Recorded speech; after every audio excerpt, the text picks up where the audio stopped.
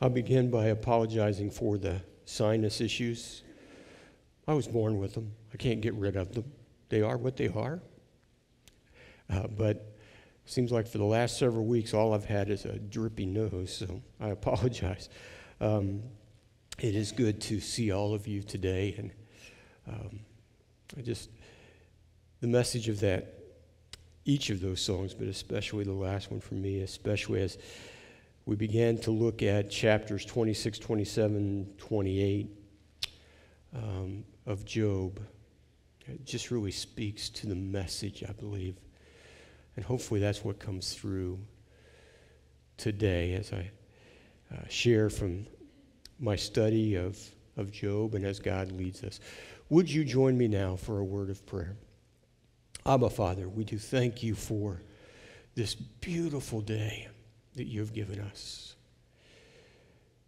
Father, we thank you that you are God and that you love us immeasurably.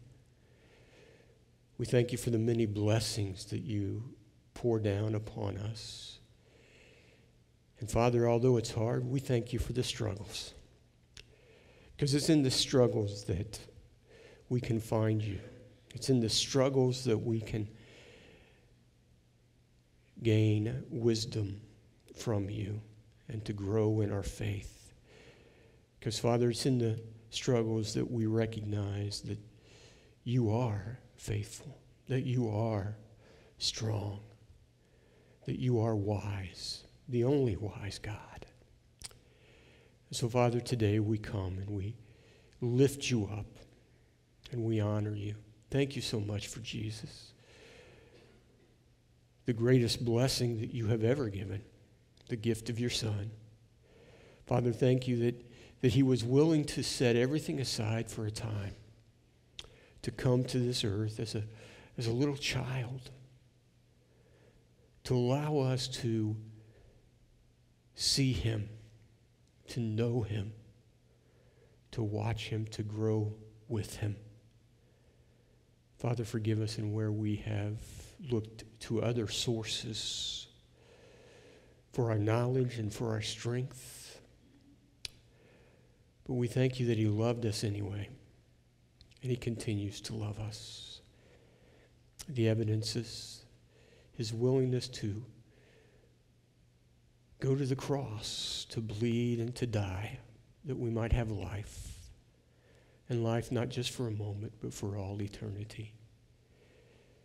Father, we continue to lift up those of our number who aren't with us because of various health concerns. Father, some recovering from surgery at home, others uh, recovering and, and in rehab facilities, and Father, others still in the hospital. We just ask, Father, that in each of those cases, that you would touch them and bring healing to them as only you can. We thank you for the doctors and the nurses and the specialists and all that are part of caring and treating them. But it's you that brings restoration. So, Father, we ask that you would bring healing.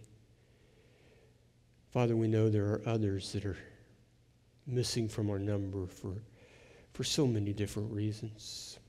You're aware of each one. Father, some are emotional, some are spiritual, some are relationships, some are work, some are, the list just goes on and on. But Father, would you infuse each situation with your love, with your compassion, with your grace, with your mercy, and most importantly, with your presence, that healing might come and Father, for each of us that come today, we too have our own struggles, our own ups and downs. And Father, we're just so pleased to be able to be together as family, to be in your presence, and to come to hear what you have to, to share with us this day. So, Father, would you allow us to lay our burdens down? And Father, give us the strength not to pick them back up, but to leave them with you and in your care. Just now, Father, calm our hearts, steel our minds, Open our eyes to see and our ears to hear all that you have for us this day. Set me aside, Father, and you come. Use my voice and you speak your wisdom and your truth. And so we invite you now, Father, please come and share with us. In Jesus' name, amen.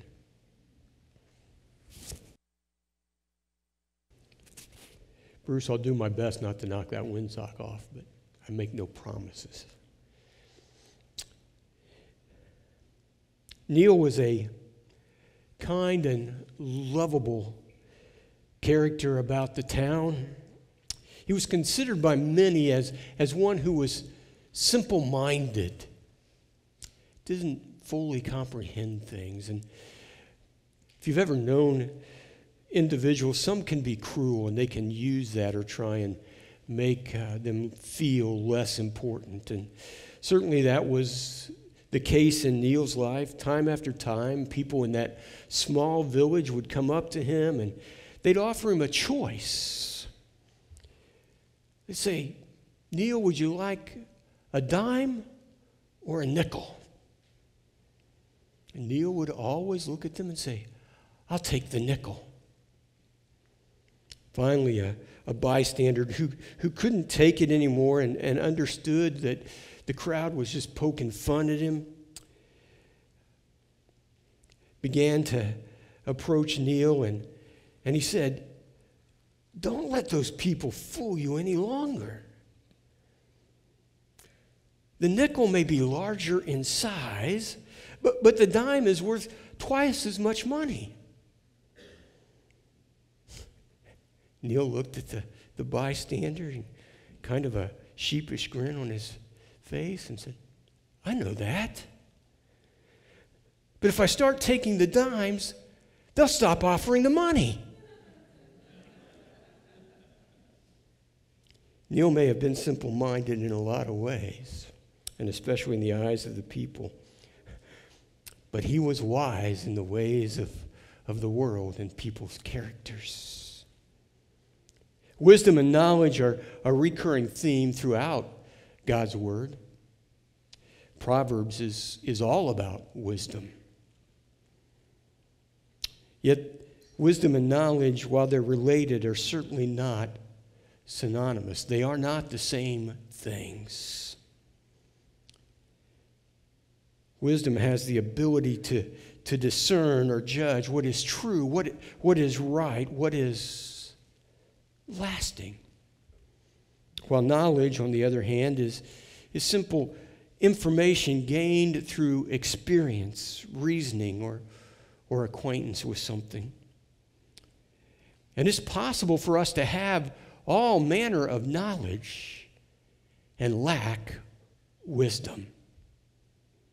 Don't miss that. It's possible to be the smartest man in the world and not have an ounce of discernment and common sense. And, and I can attest to that.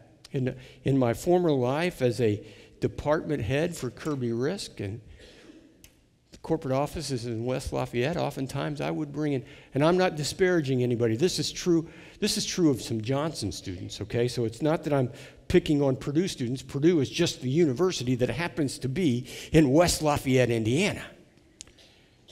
And so I would bring in some temporary students, and, and they were very wise, and they were about ready to graduate and earn their degree, and, and you would expect them to, to have some, some knowledge about things, and they certainly did. But so often they had no common sense. None. They were book smart, but life, excuse me for saying this, life dumb. They weren't prepared for life.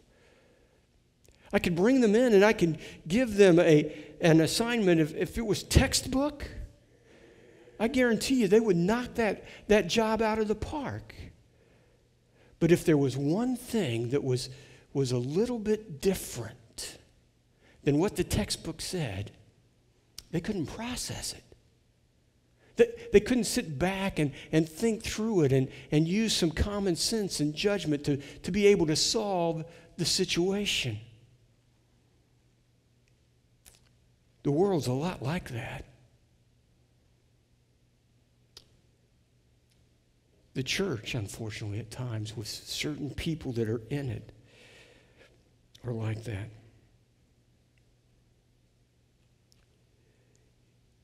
It's significant that in Scripture, wisdom is not associated with, with knowledge. It, it truly isn't. It's often associated with the path that you are on, the, the direction that you are going. Are you going in the right direction? Are you on the right path, the one that leads to Christ and to salvation? Or are you veering off the path? Are you, are you chasing the things of the world? Do you know where, where you are on your map of life? Oh, and by the way, for the follower of Jesus, follower of Jesus Christ, easy for you to say, this is our roadmap. This is our guide.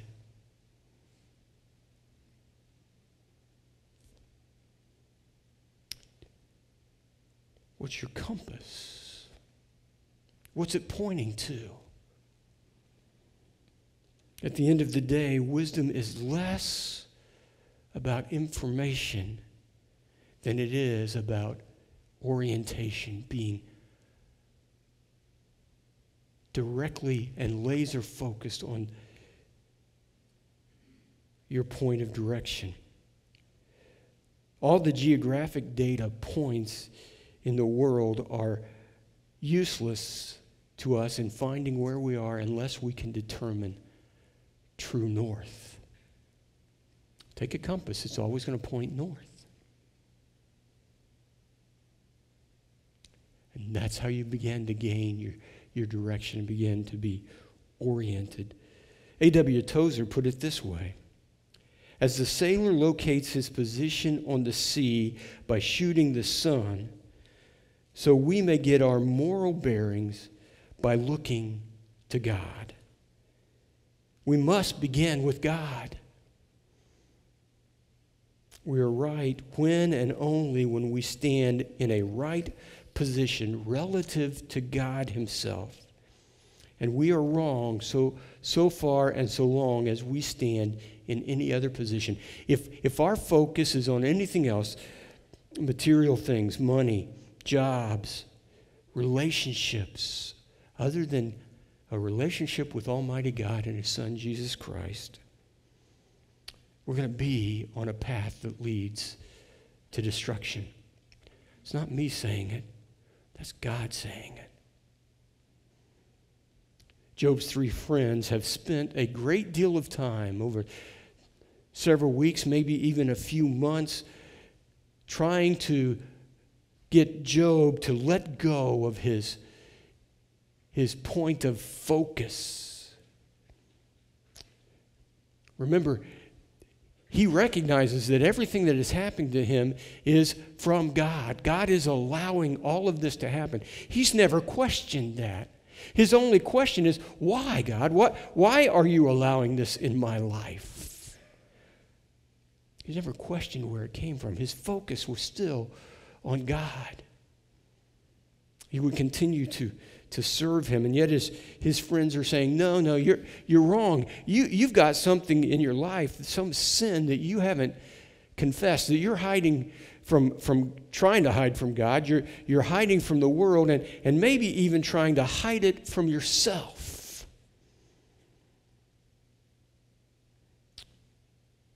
Like, the, like Job's friends, the, the world would have us believe that a good life, true happiness and, and joy are, are found in the things that we have, the, the created things, rather than the Creator Himself.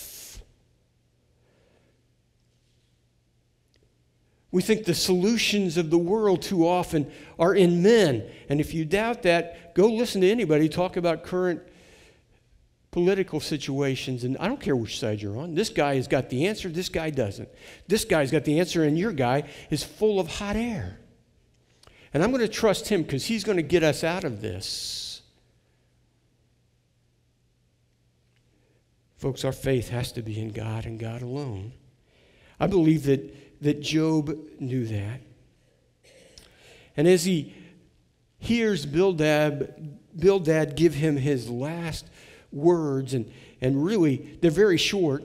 Chapter 25 is the shortest chapter, I believe, in, in Job, and those are Bildad's, Bildad's final words to Job. And in Job 26, Job says to him these words, reading from the New uh, Living Translation, verses 2 through 4. How you have helped the powerless. There, there's sarcasm in there. You need to hear this sarcasm from, from Job as he's talking to his friends. He's addressing Bildad, but, but he's speaking to the other two as well. How you have helped the powerless. How you have saved the weak. How you have enlightened the my stupidity.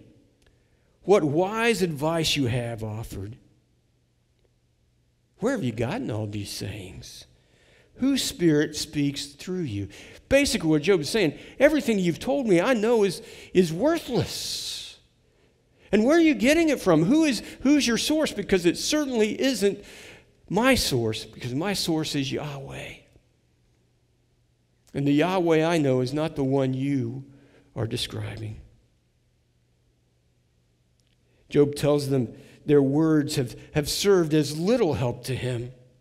They've offered no encouragement, no comfort, no hope. Remember, their, their whole guise in coming was, was to comfort their friend.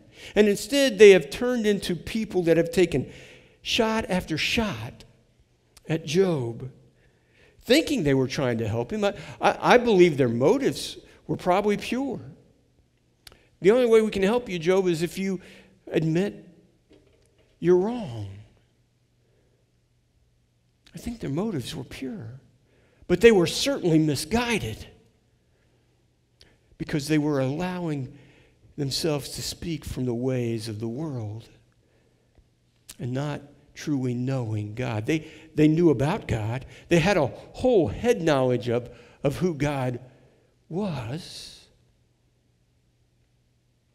but it never met reality to them.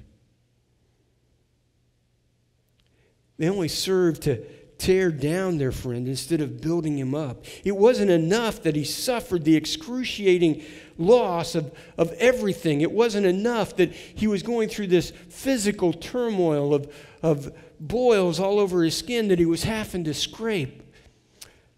And hope would heal. The words, too, would serve as a knife cutting into his very soul. And Job is troubled. Too often, well meaning individuals, followers of Christ, do the same thing in the world today. I've witnessed it. I have a son who doesn't go to church. All because of what believers at a church did and the way that they treated him. It doesn't matter what dad says. That's just dad. Oh, and dad's a preacher, so he's supposed to say these things, right? Now, I can talk with Joshua, and he can, he can share his faith in God, he prays, but he's separated from the church. It's not a good place to be. And he's there because well intentioned people didn't live out Christ in their life when he was a young teenager.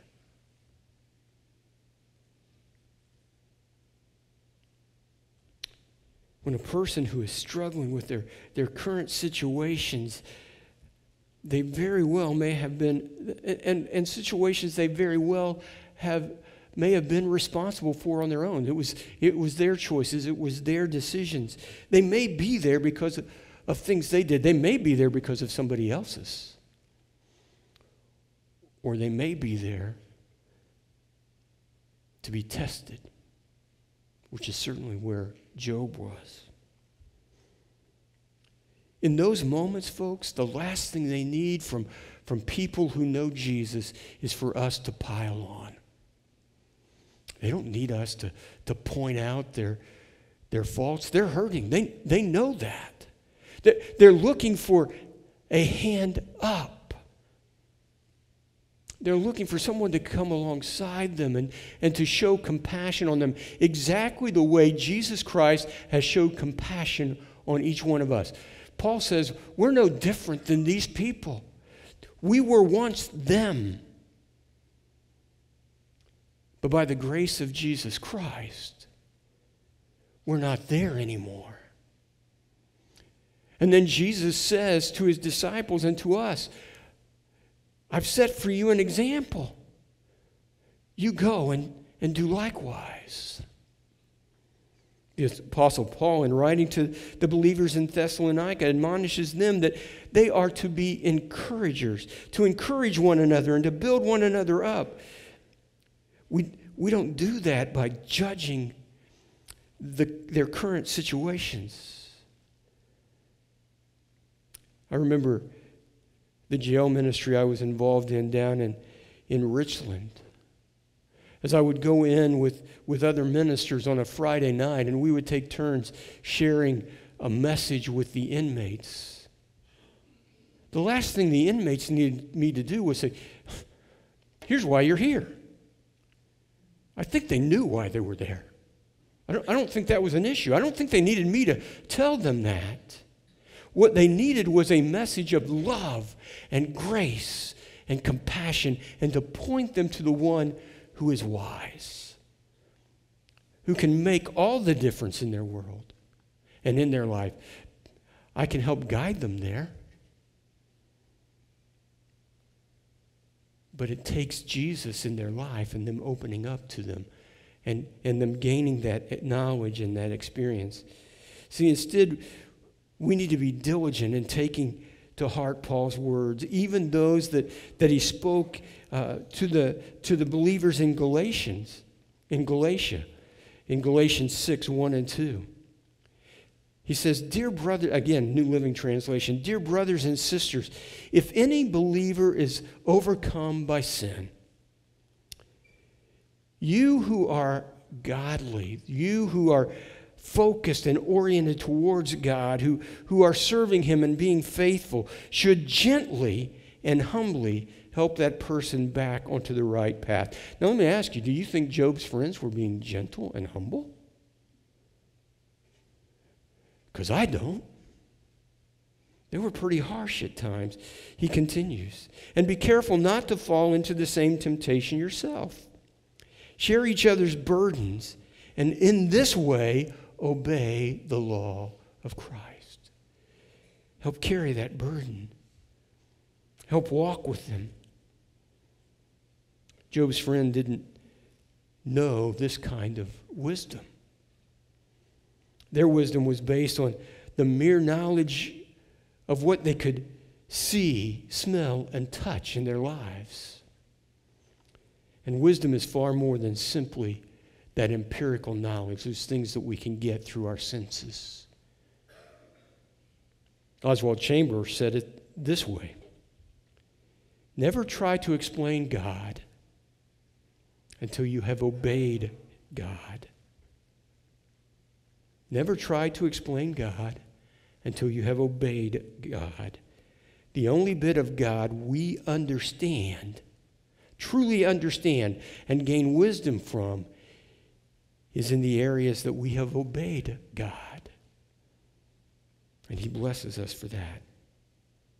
Job, it seems to me, believes godly wisdom is of greater value than just that simple, basic knowledge of God, that, that head knowledge. For, for Job, it, it was his life. He lived God daily. And he continued, even in the midst of, of this not knowing and in the midst of his struggle, he still trusted God. As we've seen in, in past chapters that we have looked at. Even to the point where Job would say, Even though he slays me, even though he kills me, even though he does away with me, yet will I trust him. Job 28 12 says, says this, looking and trying to understand, but, but where shall wisdom be found? And where's the place of understanding? Job is looking at his friends and saying, Your wisdom is coming from a place that's, that's empty. It, it's void. There, there's a little bit of knowledge, but there's not much else. Where is true wisdom to be found? And where is the place of understanding? And then he tells us a couple places he's sure that wisdom is not, not found, and probably where his friends were, were looking for it at. In Job 28 13 and 14. Man does not know its worth, and it's not found in the land of the living. The deep says, It's not in me, and the sea says, It's not with us. You see, it's not in the things God created. Wisdom is not there. The wisdom of the Creator is in the Creator God. Searching for it anywhere else is fruitless, empty, and void. He also says wisdom is not something that, that money and material things can buy.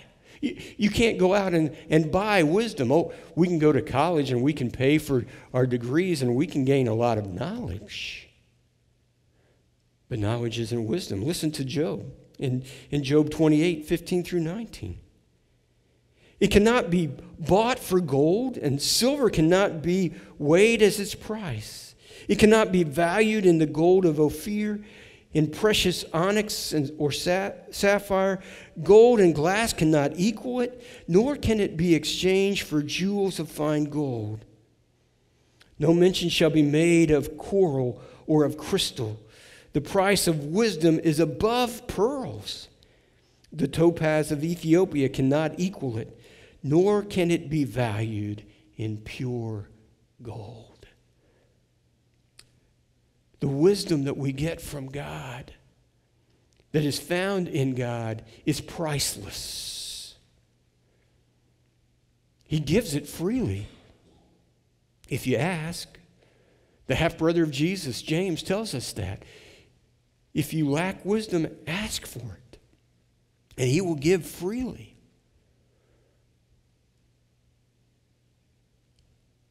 But its value is is priceless. You can't put a price tag on wisdom, and it's that wisdom that will see us through the struggles of this world, the struggles that come in our lives, because we are anchored in the one who is wise.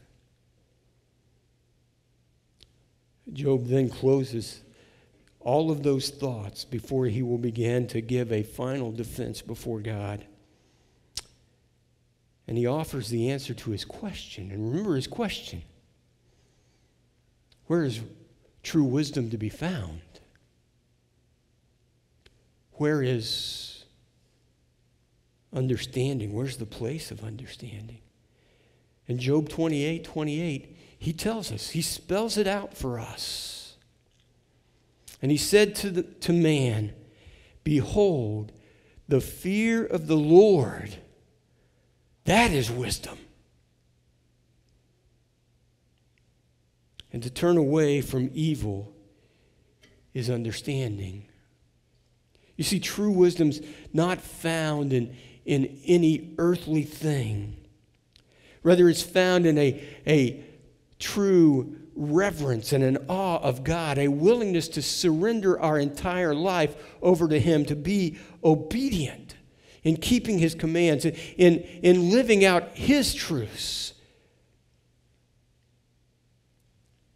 and speaking his truth in love, compassion, grace, and mercy. Because the devil's alive and well. And he's got plenty of people out there preaching those lies. We need to speak truth to them.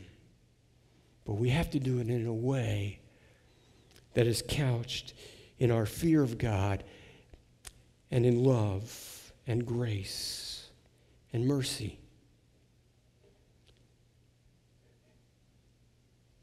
We do it as we look and see God for who He is. And we see God by looking to Jesus. Remember last week we talked about the, the cloud of witnesses and looking to Jesus. We look to Jesus because it is in Him that he, the Father has been revealed to us. Jesus Himself says, If you have seen me, you have seen the Father. I and the Father are one. There is no difference. If you've witnessed Jesus, then you have witnessed the Father. One individual has described the, the fear of the Lord this way. I really, I really like this picture. I don't know why, but I did. He says it's like a, a teenage driver who suddenly spots her father's car in her rear view mirror. I've been there, by the way. Seeing him back there puts her on notice to be on her best behavior.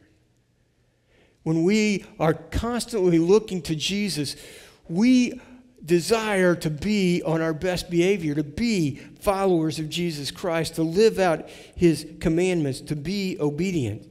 And so she determined to be on her best behavior, to use her blinkers, and to stop at yellow lights rather than trying to run through it before it turns red.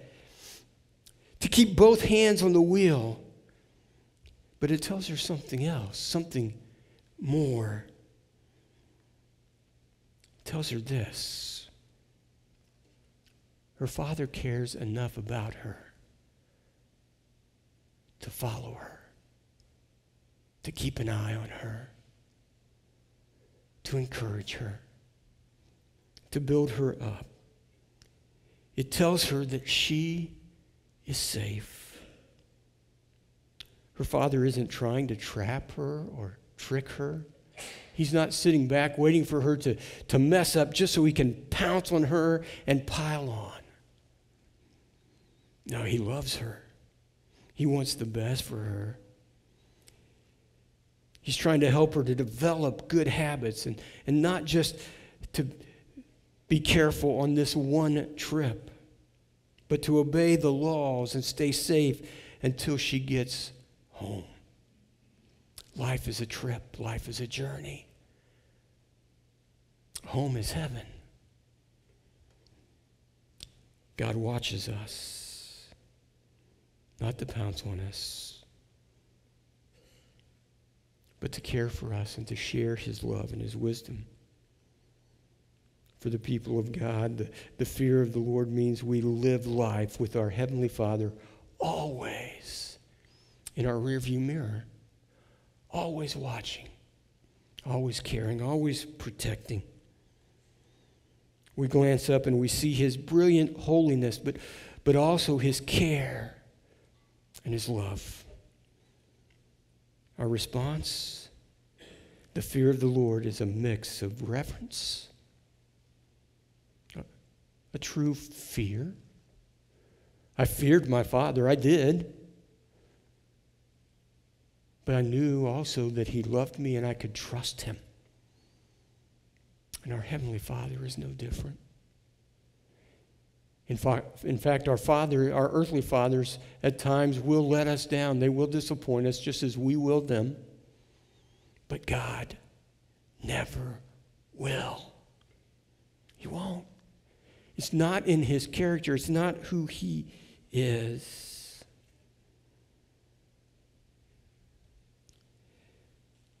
Job would say this because of his fear of the Lord. Listen to these words of, of true wisdom, I believe.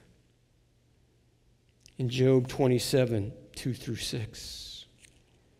As God lives, who, who has taken away my, my right, and the Almighty who has made my soul bitter, as long as my breath is in me, the Spirit of God is in my nostrils. As long as God continues to breathe into me and give me life, my lips will not speak falsehood. and my tongue will not utter deceit. Far be it from me to say that you are right, speaking to his friends. Till I die, I will not put away my integrity from me. I hold fast my righteousness and will not let go. My heart does not reproach me for any of my days. I will remain committed to my God, and he will be there in the end.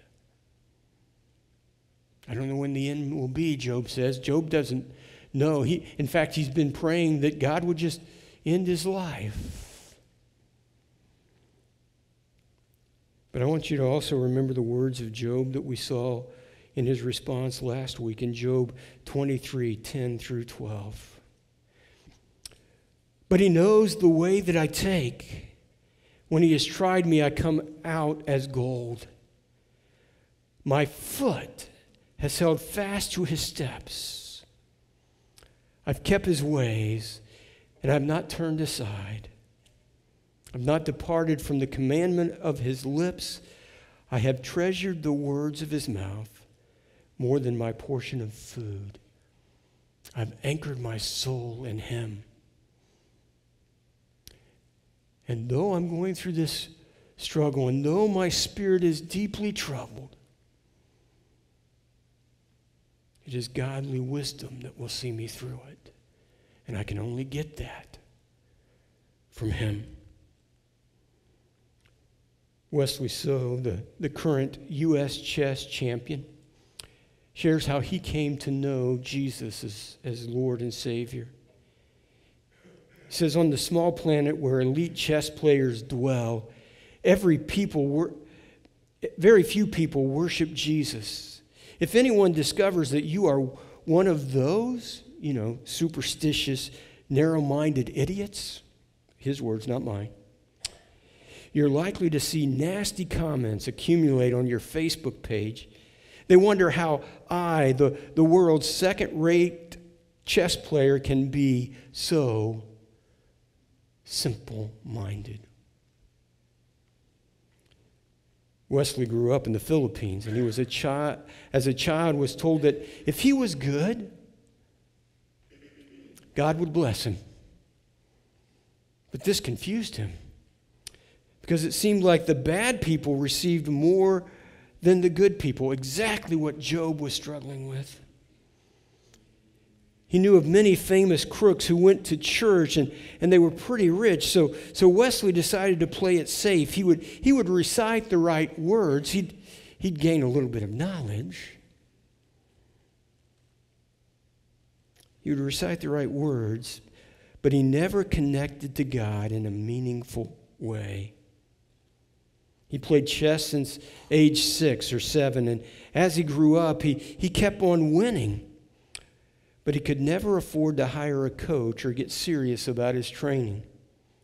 When he was 18, he got an offer to play on the chess team of a small American university. And so he left home and he moved to America. He said, I then met the people who would become my foster family. They were Christians, followers of Jesus. And Lotis, my, my foster mother, could sense my unhappiness. She asked me what I wanted to do in life. And I replied that I loved playing chess, but I didn't think I was talented enough to, to translate that into a full time career. Lotis told me to focus on chess alone for the next two years. The family would support me any way they could. His foster parents, as, we as I said, were, were Christians. They were ma- mature Christians, and they insisted that as a living, uh, that living as a member of the family meant that he would need to be uh, faithfully accompanying them to church on a weekly basis. His family loved him. They taught him the Bible was the real authority, the truth of God's word, who he is, the direction that He gives us. Deeper and wiser than internet and, and more truthful than any of His earthly friends. He says, Before long, I was practicing my faith in a more intense way. My new family calls Christianity the thinking man's religion. They encourage me to ask questions, search for answers, and to really wrestle with what I discovered. I knew I wanted the kind of simple, contented, God fearing life they enjoyed. I wanted God's wisdom in my life, is what he says. People in the chess world sometimes want to know whether I think God makes me win matches. I answer them yes. But then I say this, and sometimes he makes me lose them too. He is the God of chess, and more importantly, the God of everything. Win or lose, I give him the glory. Will I rise to become the world champion one day? Only God knows for sure. In the meantime, I know that He is a generous and loving Father, always showering me with more blessings than I could possibly deserve.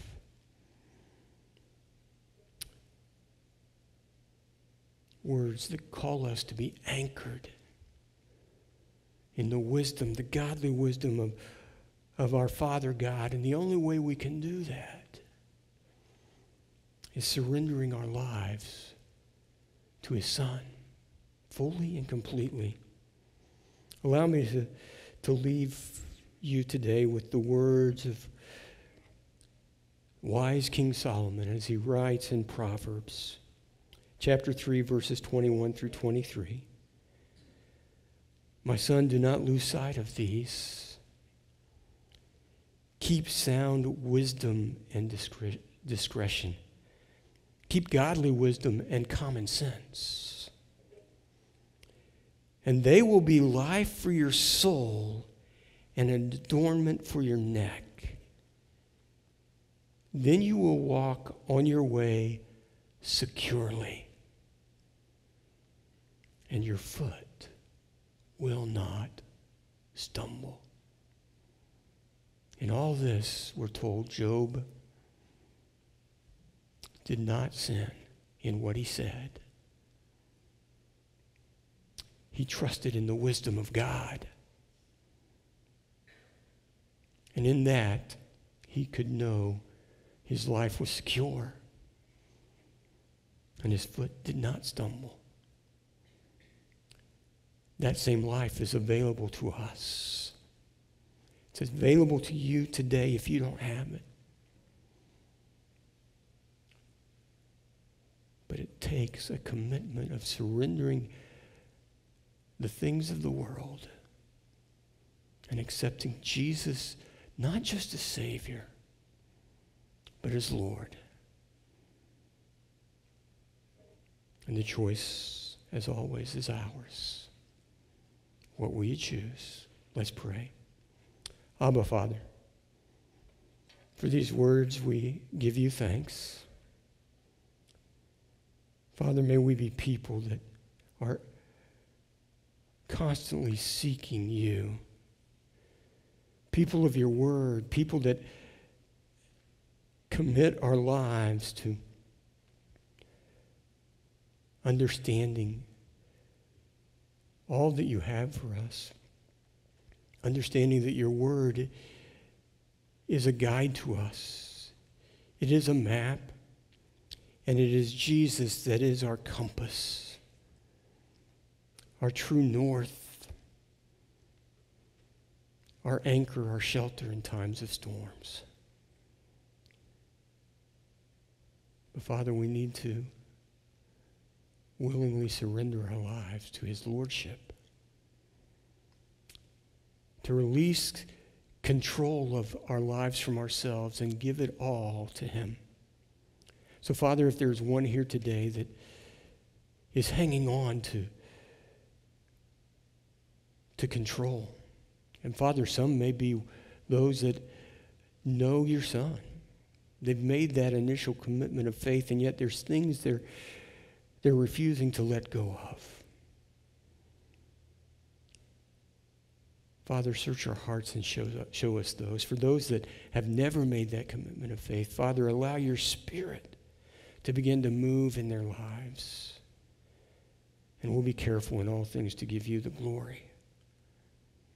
For you alone are worthy. And then, Father, take us and use us this week as we go about life. May we be a shining light in a dark world. We ask all this in the precious name of our Lord and Savior Jesus. Amen. Once again, we come to that time of, of response. The Lord has come, the Lord has shared from His Word, and He has spoken to each of us in some way. And now He bids you come. Maybe that's for your initial commitment of faith. Maybe that's a, a confession, a time of confession saying, I've not been everything I'm supposed to be yet, but I want to be. Maybe it's just that you need someone to pray with. Whatever it is, I encourage you, please don't leave without responding. And you can come forward. I'll be here to greet you and to talk with you. For those of you watching us online, He invites you as well. We encourage you that if He's spoken to your heart, give us a call here at the church this week. We'd love to get to know you and to, to share with you and to share the love of Christ and what His Word teaches. So I invite you now, would you respond as we stand and as we sing?